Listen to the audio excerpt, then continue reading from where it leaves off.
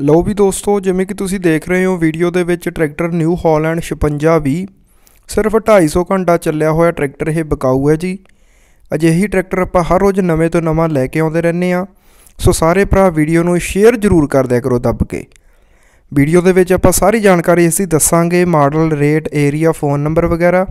ਸੋ ਤੁਸੀਂ ਕੀ ਕਰਨਾ, ਵੀਡੀਓ ਨੂੰ ਪੂਰਾ ਜ਼ਰੂਰ ਦੇਖ ਲਿਓ। ਛੋਟੀ ਜੀ ਵੀਡੀਓ ਹੁੰਦੀ ਹੈ ਆਪਣੀ 2 ਮਿੰਟ ਦੀ ਜੀ। ਸੋ ਵੀਡੀਓ ਦੇਖਣ ਵਾਲੇ ਸਾਰੇ ਵੀਰਾਂ ਨੂੰ ਸਤਿ ਸ਼੍ਰੀ ਅਕਾਲ।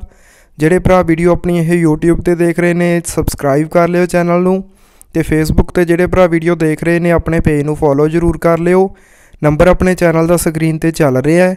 ਇਸ ਨੰਬਰ ਤੇ ਤੁਸੀਂ ਆਪਣੇ ਸਾਧਨ ਦੀ 2 ਮਿੰਟ ਦੀ ਵੀਡੀਓ ਬਣਾ ਕੇ ਭੇਜ ਸਕਦੇ ਹੋ ਐਡ ਕਰਵਾਉਣ ਦੇ ਲਈ।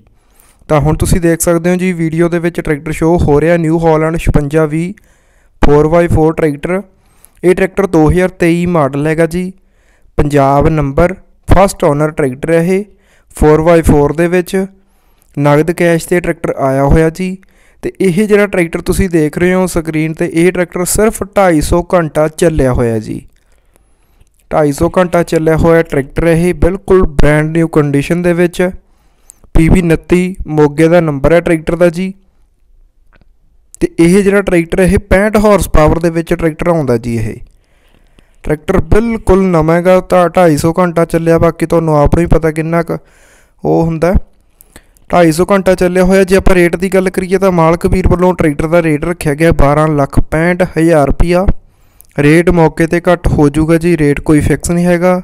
ਤੇ ਇਹ ਜਿਹੜਾ ਟਰੈਕਟਰ ਤੁਸੀਂ ਦੇਖ ਰਹੇ ਹੋ, ਇਹ ਮੋਗਾ ਏਰੀਆ ਦੇ ਵਿੱਚ ਸੇਲ ਲਈ ਹੈ। ਨੰਬਰ ਵੀਰ ਦਾ ਵੀਡੀਓ ਦੇ ਟਾਈਟਲ ਦੇ ਵਿੱਚ ਦਿੱਤਾ ਹੋਇਆ, ਤੁਸੀਂ ਇਹਨਾਂ ਨਾਲ ਸੰਪਰਕ ਕਰਕੇ ਟਰੈਕਟਰ ਨੂੰ ਖਰੀਦ ਸਕਦੇ ਹੋ। ਬਾਕੀ ਆਪਣੀ ਵੀਡੀਓ ਨੂੰ ਵੱਧ ਤੋਂ ਵੱਧ ਮੇਰਾ ਭਰਾ ਸ਼ੇਅਰ ਜ਼ਰੂਰ ਕਰ ਦਿਆ ਕਰੋ ਜੀ। ਇੰਨੀ ਕੁ ਬੇਨਤੀ ਪ੍ਰਵਾਨ ਕਰਿਓ ਤੇ ਵੱਧ ਤੋਂ ਵੱਧ ਵੀਡੀਓ ਨੂੰ ਸ਼ੇਅਰ ਕਰ ਦਿਓ। ਵੀਡੀਓ ਦੇਖ ਲਈ ਤੁਹਾਡਾ ਬਹੁਤ ਬਹੁਤ ਧੰਨਵਾਦ ਜੀ। ਮਿਲਦੇ ਹਾਂ ਜੀ ਆਪਾਂ ਕਿਸੇ ਨਵੀਂ ਵੀਡੀਓ ਦੇ ਵਿੱਚ।